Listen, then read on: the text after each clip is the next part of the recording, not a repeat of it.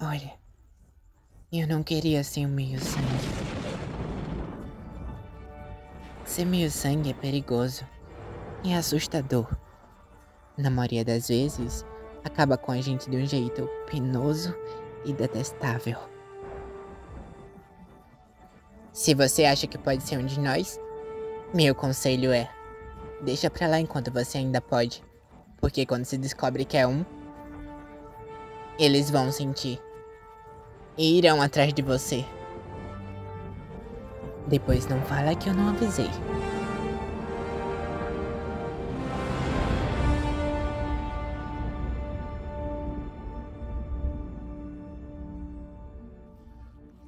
Meu nome é Percy Jackson.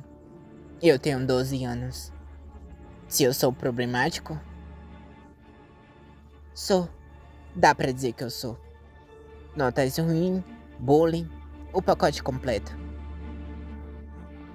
E mais alguns detalhes. Os detalhes que talvez não sejam tão normais assim.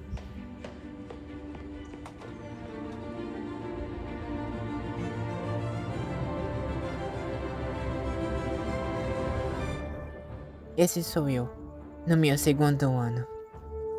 Porque eu tava lá em cima, eu vi uma coisa. Pelo menos, eu poderia jurar que tinha visto uma coisa. Quando se diz que tá vendo esse tipo de coisa, acaba na sala desse cara aí. A boa notícia é que ele diz que não tem com o que se preocupar. Tudo faz parte da minha imaginação. Mas se acontecer de novo, era para eu falar para alguém. Aconteceu de novo. Essas coisas impossíveis que pareciam ter sido uma das histórias que minha mãe sempre me contava. Muito reais em um segundo. E no outro.